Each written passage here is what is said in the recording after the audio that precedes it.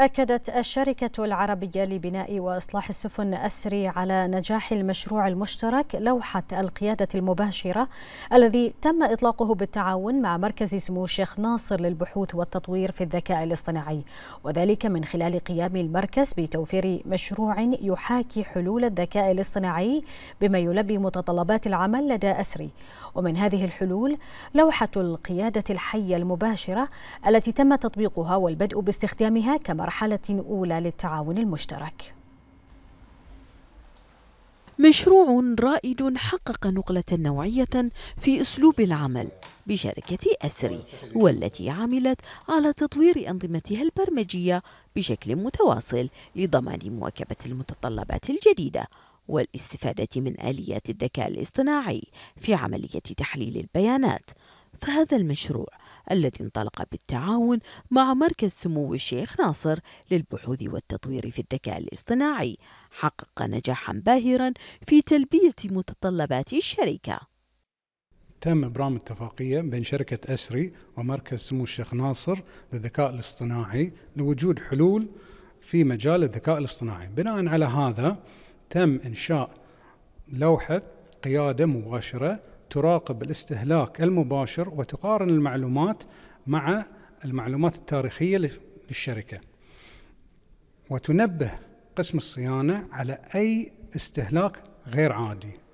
ونسعى في المستقبل توسعة هذا التعاون مع مركز سمو الشيخ ناصر لوجود حلول أخرى تساعد الشركة ودائما دائما نسعي لاستخدام الكفاءات المحلية للوصول إلى إنجازات عالمية. هذا المشروع المشترك والذي انطلق تحت عنوان لوحة القيادة المباشرة حقق تقدما ملحوظا من حيث قدرته على التحقق من المخاطر وعرض البيانات التاريخية على شكل إحصائيات ورسوم بيانية بالإضافة إلى إعداد الإشعارات ومجموعة من العمليات الحسابية لاستهلاك الطاقة وتحليل البيانات وعرضها بطريقة فاعلة. تحقيق نتائج إيجابية في هذا المشروع. بدأنا بالعمل على دراسة بعض المشاريع في المجال الذكاء الاصطناعي من أبرزها الاستعانة بالطائرات المسيرة المدعومة بالذكاء الاصطناعي للكشف عن الأضرار في هيكل السفن وتحديد مواضع الصيانة بكفاءة عالية. إضافة إلى عدد من المشاريع الأخرى التي تشمل مجالات متعددة كالموارد البشرية والإنتاج وإدارة المشاريع.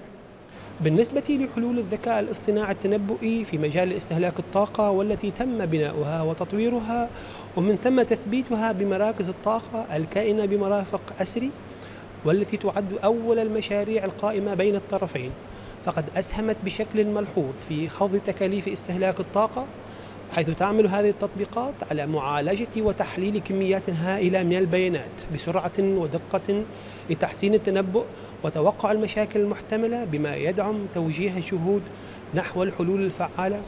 مواكبة التطورات التكنولوجية وإيجاد طرق متنوعة وحلول ذكية باستخدام الذكاء الاصطناعي قدمها المركز لشركة أسري يؤكد على أن فكرة هذا المشروع قد حققت نجاحا لافتا على أرض الواقع.